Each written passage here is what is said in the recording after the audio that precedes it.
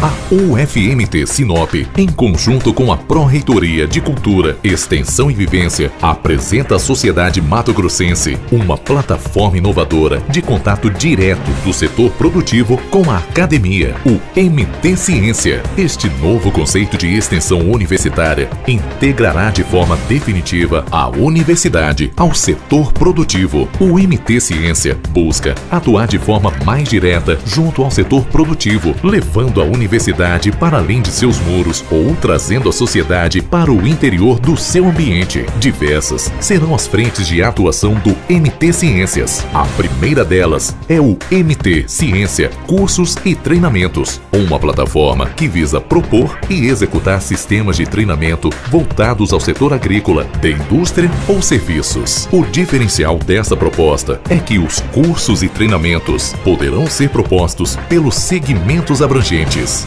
Outra frente de educação é a Livraria MT Ciência, que produzirá e comercializará materiais técnicos e didáticos que poderão servir de apoio à execução dos cursos e treinamentos oferecidos. Todos os materiais produzidos terão caráter simplificador do conhecimento, tornando o conhecimento produzido na universidade acessível a toda a sociedade. O MT Ciência Consultorias é o último pacote de serviços que comporão esta nova plataforma, permitindo aqui dois tipos de ações. Uma mais rápida e direta, aplicada à solução de problemas individuais, e outras mais sintetizada, que comporá a execução de pesquisas e desenvolvimento de tecnologias demandada pelo próprio setor. Nas consultorias diretas, problemas de ordem técnica que o setor produtivo enfrenta poderão ser solucionadas pelo acompanhamento de um profissional com grande capacidade técnica, mestres ou doutores. Já quando a necessidade demandar uma ação mais sistematizada, a UFMT abrirá sua estrutura física para o desenvolvimento de pesquisas, que resultarão em novos métodos, procedimentos, equipamentos, etc. Tudo isto aumentará de sobremaneira a inovação no Estado. Um grande parceiro desta proposta é a Fundação Unicelva, que ficará responsável por gerenciar todos os recursos obtidos com as ações do MT Ciência de forma clara e legal. Esses recursos,